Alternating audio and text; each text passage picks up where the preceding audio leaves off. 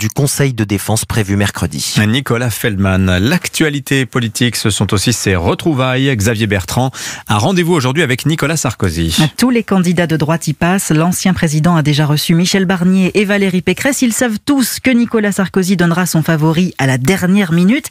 Mais c'est un entretien qui compte, Louis de Ragnel. Alors, comment va-t-il se dérouler pour Xavier Bertrand? Eh bien, tout d'abord, il y a la photo, le clin d'œil. À droite, ça fait souvent du bien de poser avec Nicolas Sarkozy quand on est en campagne. Mais surtout, le président des Hauts-de-France souhaite expliquer sa stratégie à l'ancien chef de l'État, avec qui les relations n'ont pas toujours été fluides. Xavier Bertrand veut lui parler de la question du travail, un thème qu'il connaît bien, après avoir été deux fois en charge de cette question au gouvernement. Autre sujet au menu de la rencontre, les suites du fiasco de l'annulation des contrats de sous-marins avec l'Australie.